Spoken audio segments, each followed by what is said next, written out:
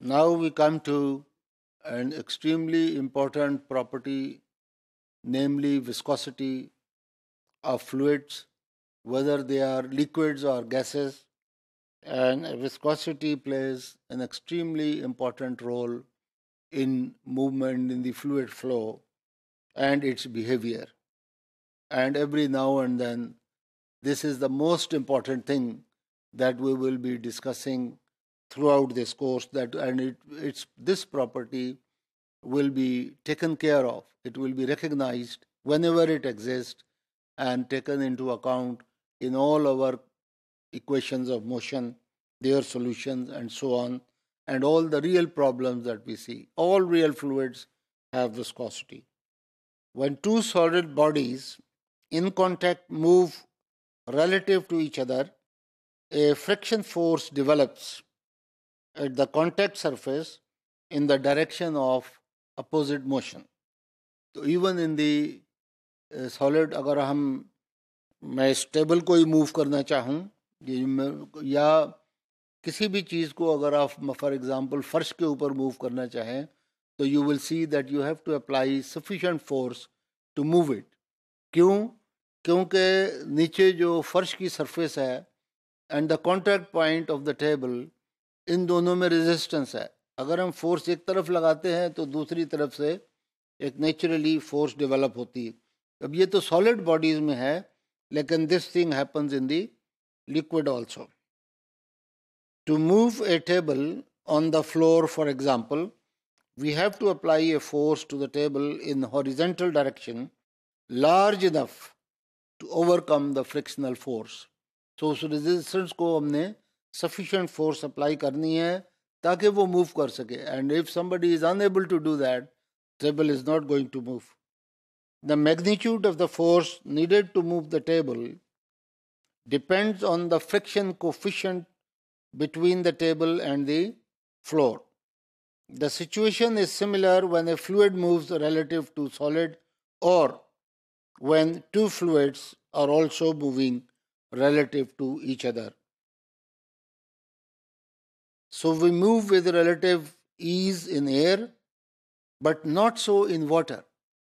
तो अगर हम देखिए एयर में चल रहे हैं तो वाकई हमें पता भी नहीं लगता कि समथिंग इज़ अपोजिंग अस और there is a force against us लेकिन अगर हम लिक्विड में इसी तरह चलना शुरू करें किसी पानी के नाले में तालाब में स्विमिंग पूल में तो we will know that a certain level of resistance we feel it होती है लेकिन और इसी तरह से भी ये रियलाइज़ कि अगर हम एक कार में जा रहे हैं, एक व्हीकल में जा रहे हैं, और एक सर्टेन स्पीड पर हैं तो और और अगर हम शीशे गाड़ी के खुले रखें तो we will know that there is a opposing force हवा जो है, उसको पीछे की तरफ़ धकेलती है, और कार के इंजन को काफ़ी ज़ोर लगाना होता है to be able to move forward तो ये चीज़ हमारी रियल लाइफ में चारों तरफ़ एग्जिस्ट करती, और वो जो रेजिस्टेंस फोर्स है that has to be recognized and taken care of when all the uh, fluid motion is, uh, is being considered or discussed. Uh, similarly, moving in oil would be even more difficult as can be observed by the slower downward motion of a glass ball dropped in a tube filled with oil.